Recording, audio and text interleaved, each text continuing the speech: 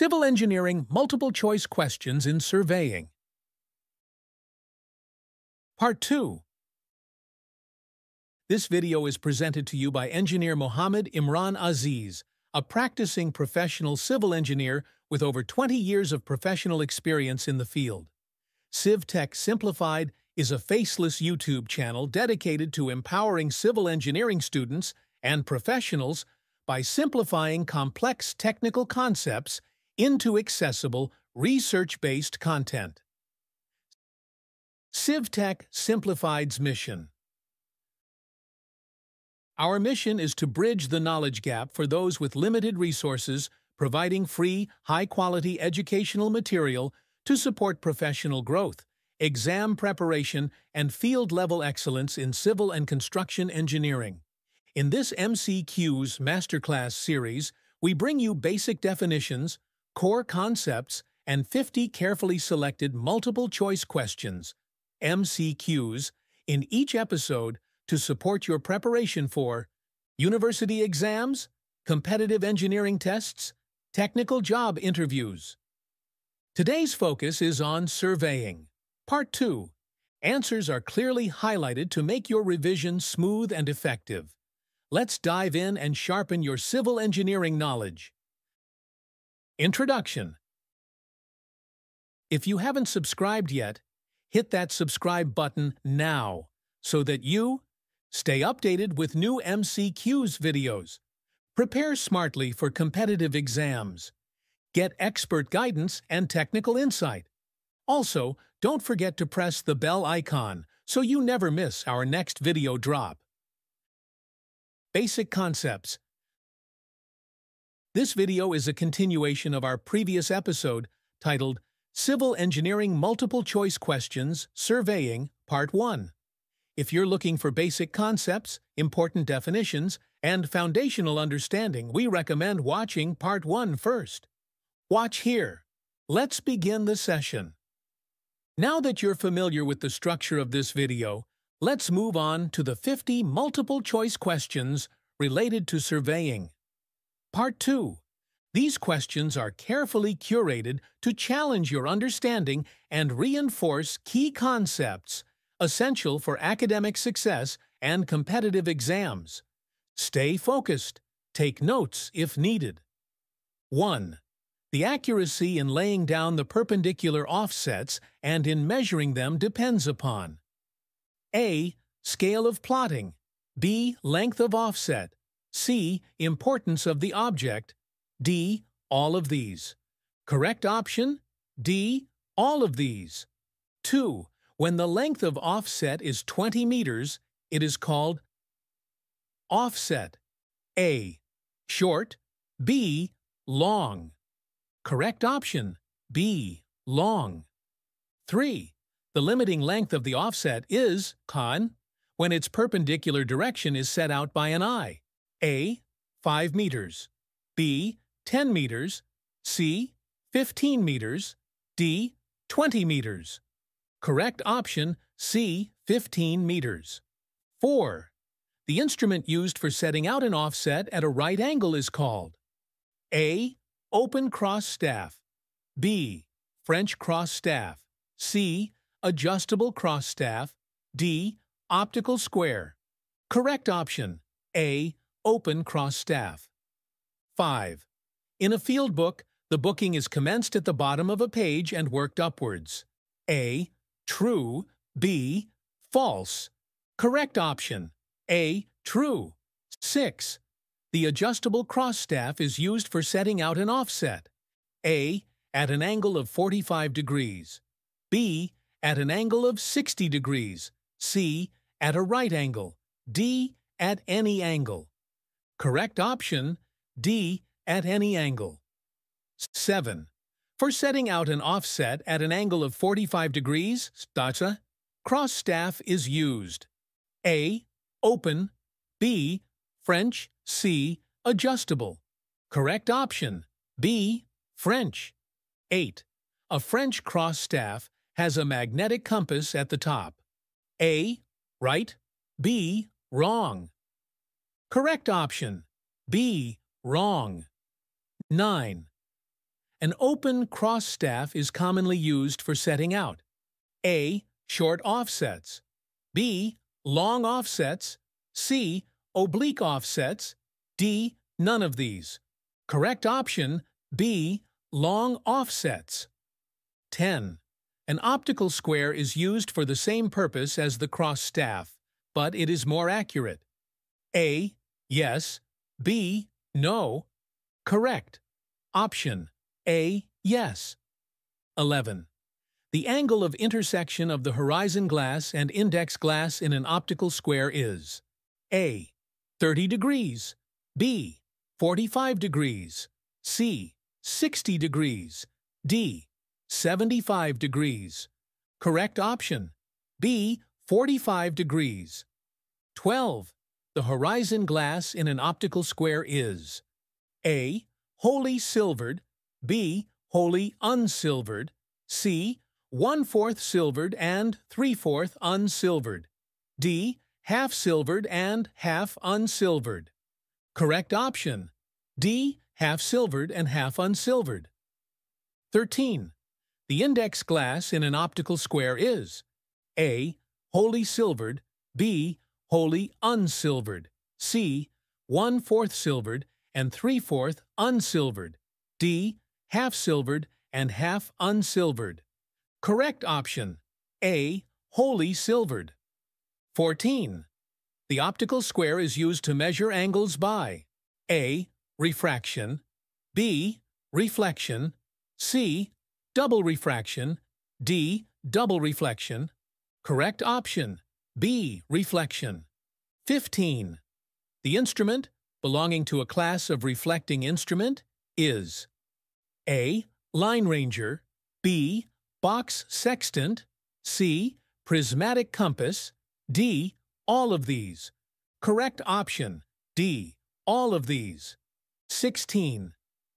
In an optical square, the angle between the first incident ray and the last reflected ray is A. 60 degrees, B. 90 degrees, or C. 120 degrees, D. 150 degrees. Correct option B. 90 degrees. 17. When the object lies on the left-hand side of the chain line, then while taking offset with an optical square, it is held in. A. Left hand upside down. B. Right hand upside down. C. Left hand upright. D. Right hand upright. Correct option.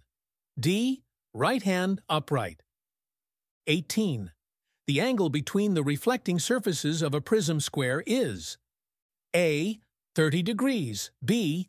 45 degrees C. 60 degrees D. 75 degrees.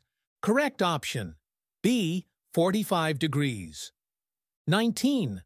The obstacle which obstructs vision but not chaining is A. A. River B. Pond C. Hill D. All of these.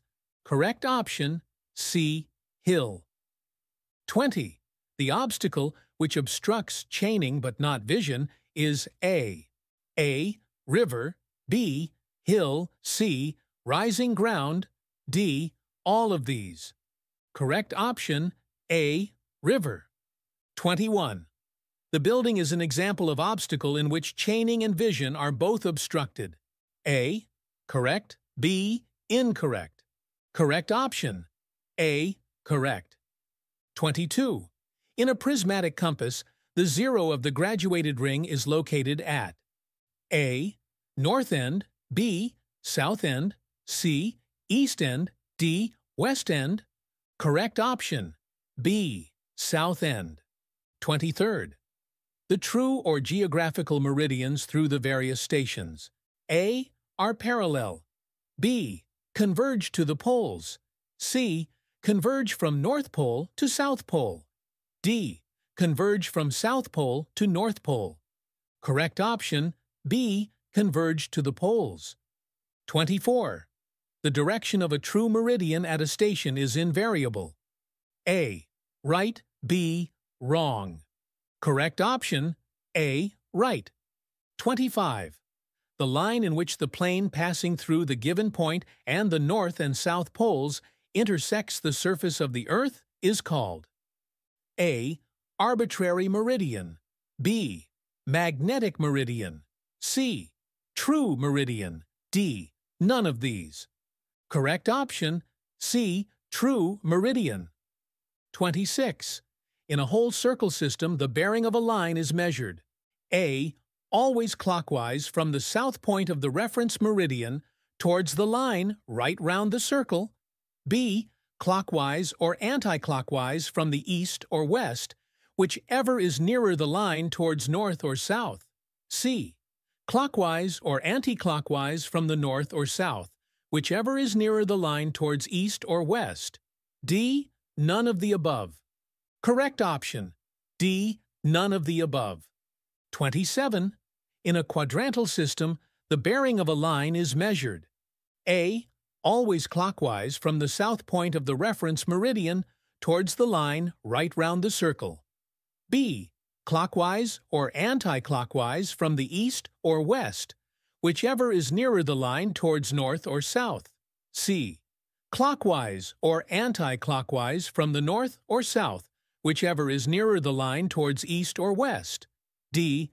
None of the above.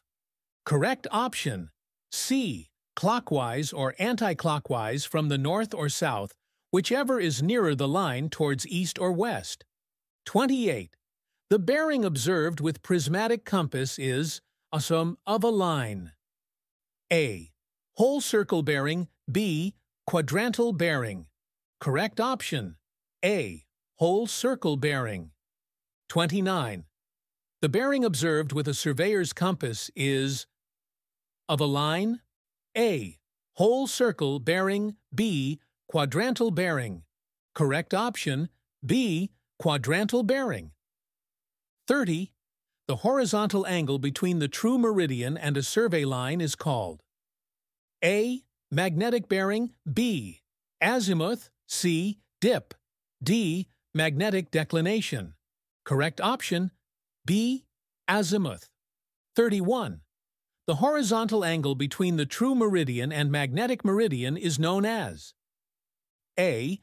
True bearing B. Dip C. Local attraction D. Magnetic declination. Correct option D. Magnetic declination. 32. Due to the magnetic influence of the Earth, the magnetic needle of the prismatic compass will be inclined downward towards the pole. This inclination of the needle with the horizontal is known as A. True bearing B. Dip C. Local attraction D. Magnetic declination. Correct option B. Dip. 33. At the equator, the amount of dip is A. 0 degrees B. 45 degrees. C. 60 degrees. D. 90 degrees. Correct option A. 0 degrees. 34. At the magnetic poles, the amount of dip is A. 0 degrees B.